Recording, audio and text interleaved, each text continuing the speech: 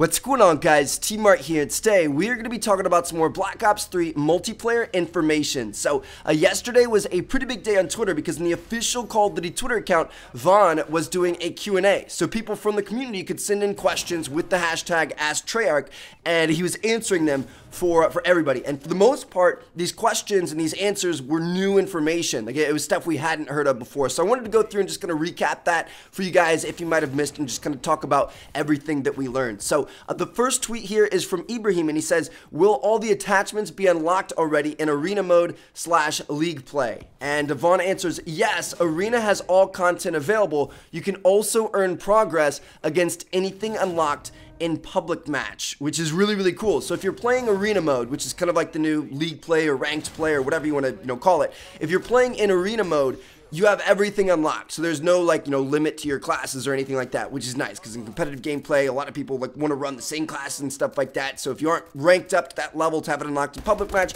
at least you'll have it here so you won't be at a disadvantage.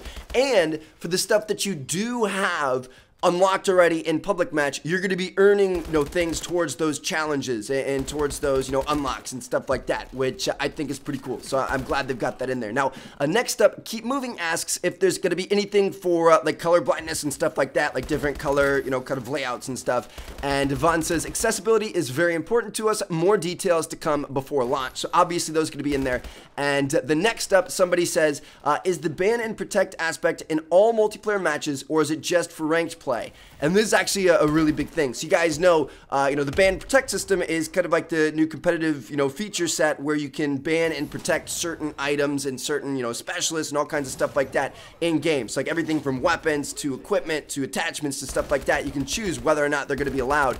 And he says bans and protects and the specialist draft are in arena and available to custom games with full control. So uh, it's going to happen in arena, it's going to happen in custom games, but it's not going to happen in normal multiplayer matches, which makes sense. I don't know why they would ever have that, but that's a, definitely a good thing because it, it, takes quite a while. Like it'd be a couple of minutes before each match, which I don't think a lot of people would like. So uh, anyway, next up, Josh Payne says, will there be four or six people on each team in multiplayer?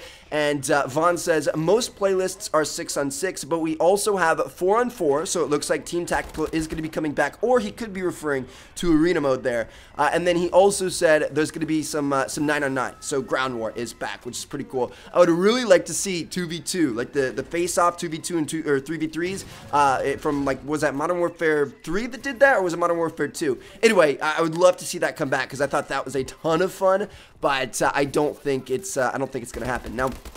Next up, somebody says, uh, will I be able to switch specialists mid-game like switching classes? And no, you cannot do that. I could have told you guys that. Once you like start up the game, it's kind of like your score streaks. Like you can't switch your score streaks mid-game. You can't switch your specialists. Like you have to commit to that in the like pre-game lobby before the game starts.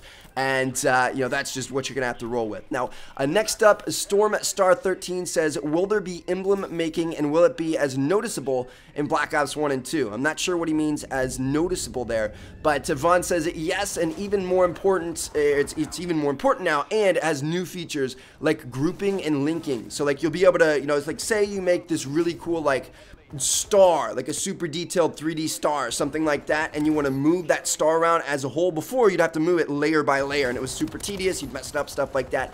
But it looks like now you're going to be able to link multiple layers together. So if you have like one piece of your emblem that you want to move around and it's multiple layers, you can link them all together and move it as one whole object, which is uh, is pretty cool. And I can't wait to see what people come out with. As well as they have like all the new like hyper like super super detailed edits and moving by percentages and like degrees and stuff like that. Like there, there's we've never had as much customization in the emblem editor as we will have uh, in this game. Now uh, next up this one is one of the most important ones from the entire you know kind of Q&A session. And uh, this guy I'm not sure what his name is he says uh, ask Treyarch how much is the time to kill? So he's just basically saying like how fast is it? And Vahn replies fast. And we are still evaluating play the beta and give us feedback about it. So right now, the time to kill is fast and they know it's fast and they mean for it to be fast, but they're evaluating and uh, they're wanting feedback about it. And honestly, I just, speaking for myself and what I think, you know, a majority of the community wants, I think we all want a little bit longer time to kill, like a, a little bit, you know, kind of